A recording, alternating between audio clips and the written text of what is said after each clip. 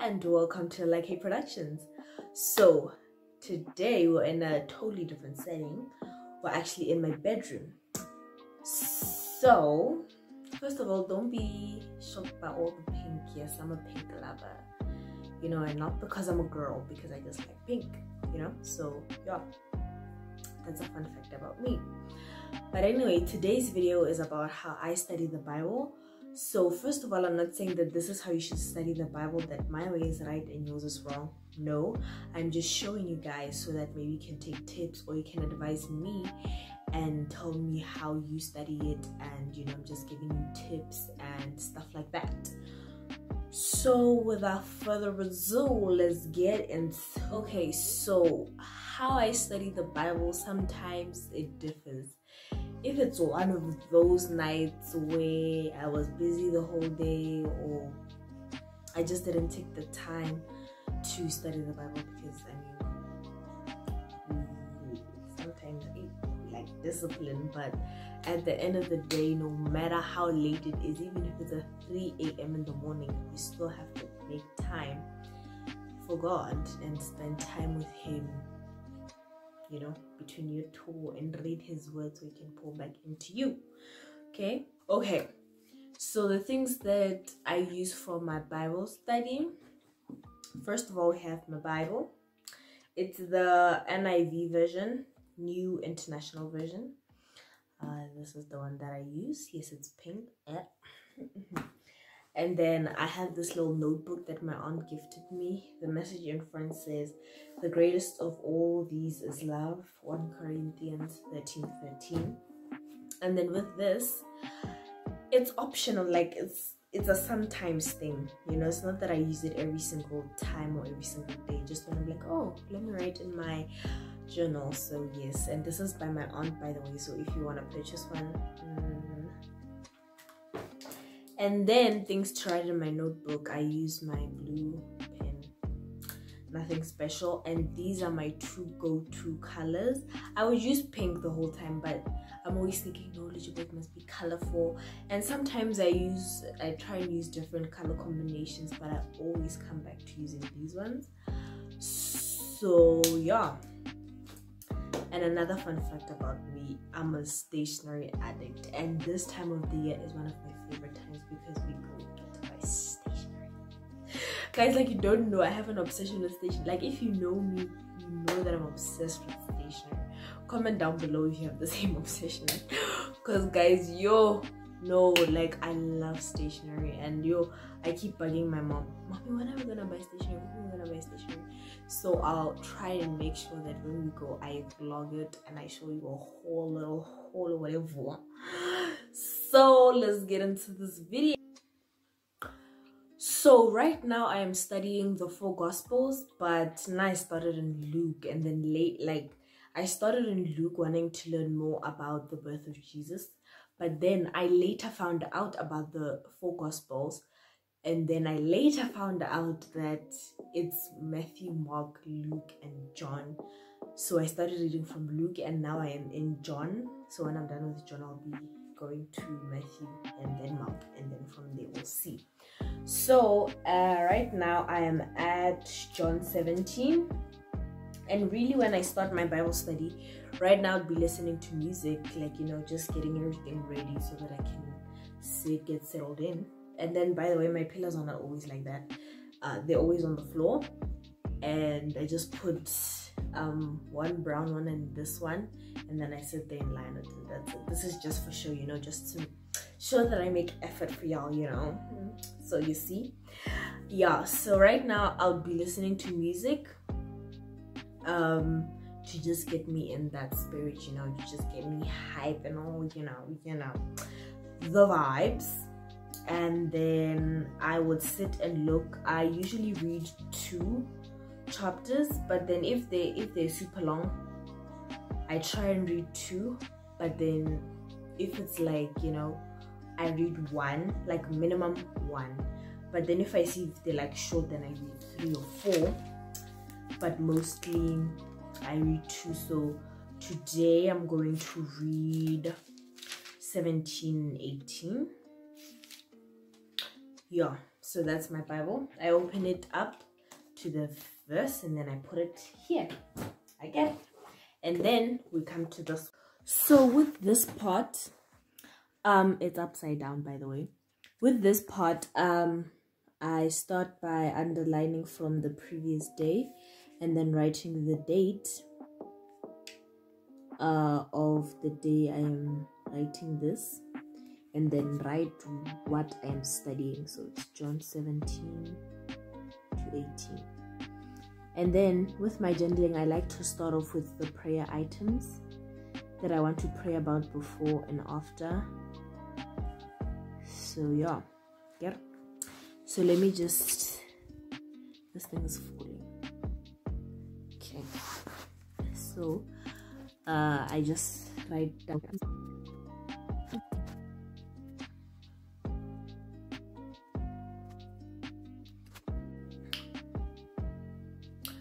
Okay so when i'm done writing like the prayer items that i could think of i guess sometimes when you're praying you think okay i'm gonna pray about this then the prayer is just gonna take like five minutes five minutes but then you end up praying 15 minutes because the holy spirit just keeps on adding and adding and adding and adding and adding. And you can't say no to the holy spirit so you just keep on yielding and yielding.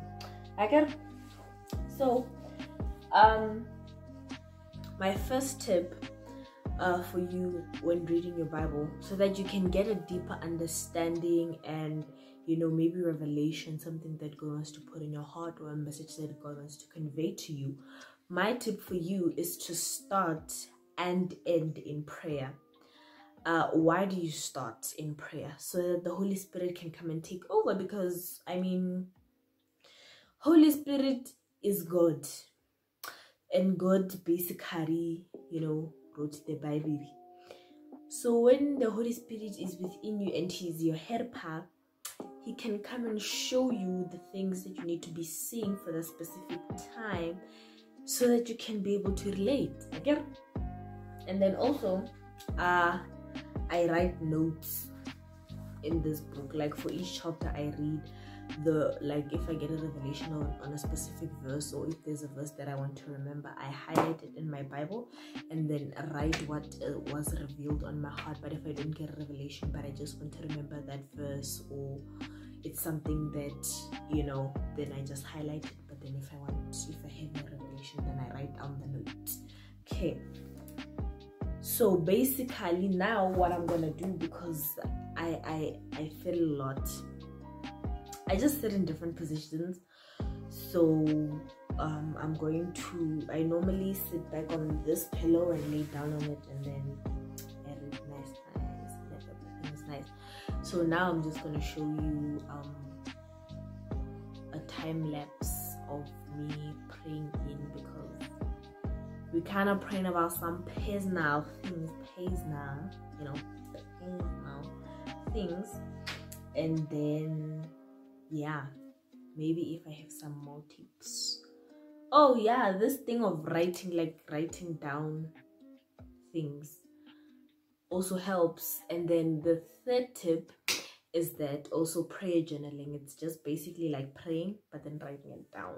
So if you like don't really know how to express the words with your mouth then write it down. Write it down and then pray about it often. Then the Holy Spirit can take over, you know.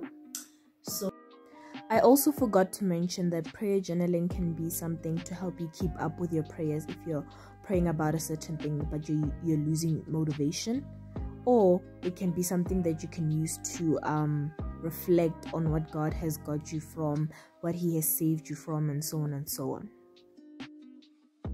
Oh yeah, that's the third tip and then yeah and i'm just gonna show you guys a time lapse of me playing in the study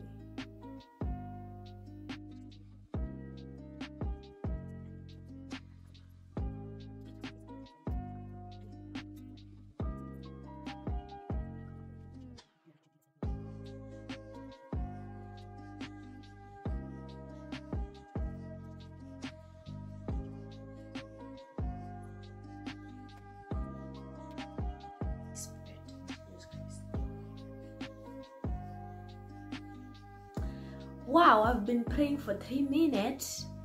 Wow. No that is good eh? No that is quite good for just an introduction. Quite good. All right guys. So i just finished praying and then now i'm going to read my bible because as much as i love you guys we need the quiet time with our father. And what time is it? And like it is 24 minutes past 12 in the morning. So i'm sure my brother thinks i'm talking alone. If he hears sounds that's my brother. The other side of the passage. So yeah now i'm going to read the word and then if i have any revelation because it's not that it's gonna come every day every day but the day that it does the day that it does come rejoice. The day that it doesn't come rejoice. It means you weren't listening but yeah if, if i have revelation or a message that i want to share i'll come back and show you guys. So guys wait before i go now i just want to show you something quickly. So this is um what is this? This is uh you see everything with the ring light on. You see me you see me you see me let me turn it off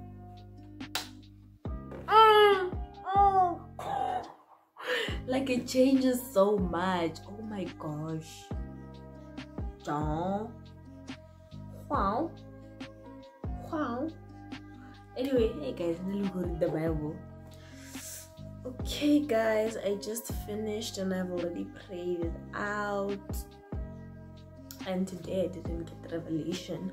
So maybe next time maybe next time maybe next time. But i shall not be disheartened just because I didn't get the revelation. But you know, at least I still got the chance to read my Bible, you know. So that's good. Anyway, I'm gonna close out this video here and I pray that you enjoyed this video and it has helped you with something. Hey guys, now I need to stop with this thing of first of all, I need to stop when I'm doing my outro, I speak about something else and then do it again and then speak about something. I need to stop that, number one. That's the first thing I need to stop.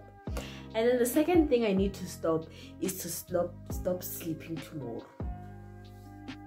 Because it was so bad to the point where this other when was it? Somewhere last like when was it?